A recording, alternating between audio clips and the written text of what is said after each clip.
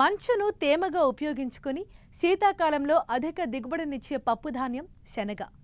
ఉమ్మడి రాష్ట్రాల్లో రబీ పంటగా శనగ సాగు దాదాపు ఆరు లక్షల హెక్టార్ల విస్తీర్ణంలో సాగుతోంది. చల్లని వాతావరణంలో మంచి పెరుగుదలను కనబరిచే ఈ పంట ప్రస్తుతం పూత కాత దశలో ఉంది. ఈ పంటకు చాలా చోట్ల పురుగులు ఆశించి తీవ్రంగా నష్టపరుస్తున్నాయి. వీటి నివారణకు చేపట్టాల్సిన సస్యరక్షణ చర్యల గురించి ఇప్పుడు తెలుసుకుందాం.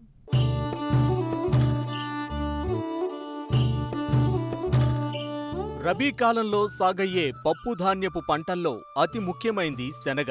వాణిజ్య పంటలైన మిరప పొగాకు పంటలకు ప్రత్యామ్నాయ పంటగా శనగ రైతుల ఆదరణ పొందుతోంది.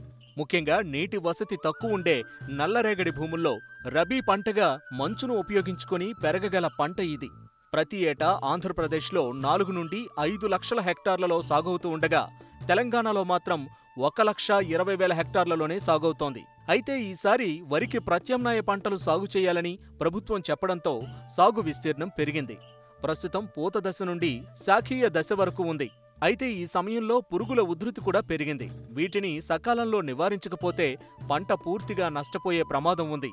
పురుగుల నివారణకు చేపట్టాల్సిన సమగ్ర సస్యరక్షణ చర్యల గురించి రైతులకు తెలియజేస్తున్నారు వరంగల్ ప్రాంతీయ వ్యవసాయ పరిశోధనా స్థానం శాస్త్రవేత్త సంధ్యా కిషోర్.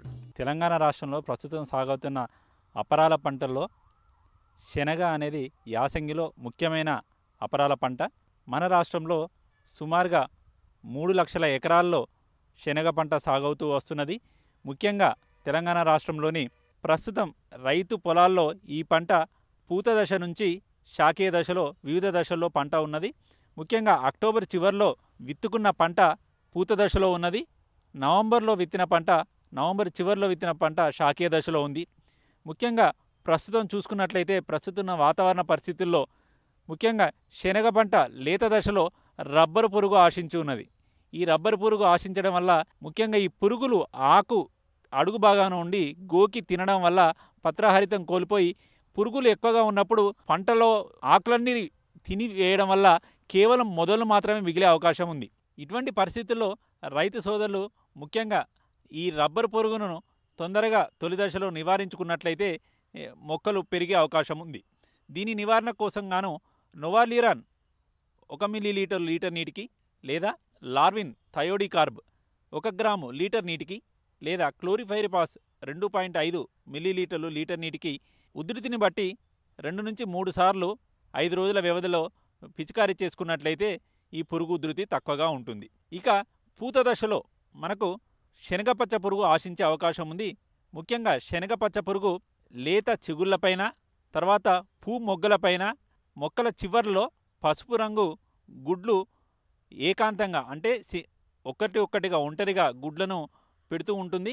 ఈ శనగపచ్చ పురుగు ద్వారా పెట్టబడిన గుడ్లు గుడ్ల నుంచి నార పురుగులు బయటకు వచ్చి అవి లేత పిందెలను తర్వాత పూ మొగ్గలను ఆశించి వీటిని తల లోపలికి పెట్టి శరీర భాగం బయట పెట్టి లోపల ఉన్న కాయల గింజలను గుల్ల చేస్తూ ఉంటాయి.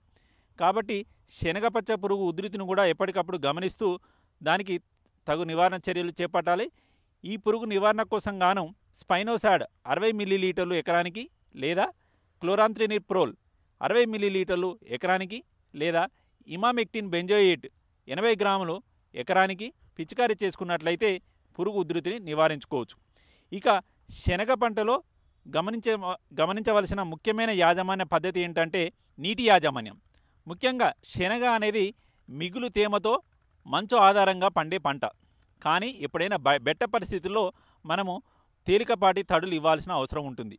ముఖ్యంగా శనగలో అధిక దిగుబడులు సాధించాలంటే శాఖీయ దశలో అంటే విత్తిన ఇరవై రోజుల తర్వాత మొక్కలు ఎప్పుడైతే శాఖలు విచ్చుకుంటాయో ఆ సమయంలో మనం ఒక తేలికపాటి తడి స్ప్రింక్లర్ ద్వారా కానీ లేదంటే తక్కువ మోతాదులో నీరు పెట్టి చూసుకున్నట్లయితే మొక్క ఏ ఏపుగా పెరిగి శాఖలు ఎక్కువగా పెరిగి ఎక్కువ కాయలు వచ్చి అధిక దిగుబడులు పొందే అవకాశం ఉంటుంది. తర్వాత కాయ దశలో కూడా ఒక తేలికపాటి తడి ఇచ్చుకున్నట్లయితే దిగుబడులు పెరిగే అవకాశం ఉంటుంది. కాబట్టి రైతు సోదరులు నీటి యాజమాన్యం మీద ప్రత్యేక శ్రద్ధ వహించి అధిక దిగుబడులు పొందాల్సిందిగా గుర్తు చేస్తున్నాను. అదేవిధంగా మనకు పూత కాయ దశలో మల్టీకే పది గ్రాములు లీటర్ నీటికి కలిపి పిచికారీ చేసుకున్నట్లయితే బెట్ట దశ నుంచి బెట్ట నుంచి పంటను కాపాడుకొని అధిక దిగుబడులు పొందవచ్చు.